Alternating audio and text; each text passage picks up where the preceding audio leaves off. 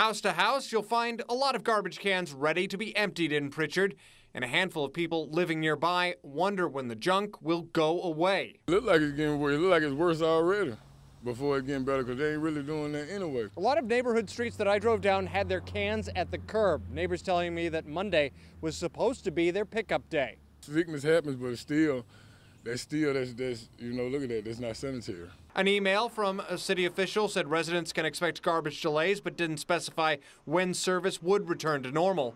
You know, I understand the fact that there's, there's COVID going around, and but it seemed to me that this year have some bag up drivers. We as citizens of Prichard can do better, and I really feel I look at the city official here in the city of Prichard. Wilmer Scott says he's lived in Prichard for decades and says a garbage delay happens every few months. Sometimes it get better and sometimes it get worse, but right now we caught in the middle of a buying situation where we had to look at the city official. Most cans that I saw seemed fine, only a handful I spotted overflowed with trash. Some curbside trash is piling up. In Prichard, Chad Petrie, WKRG News 5.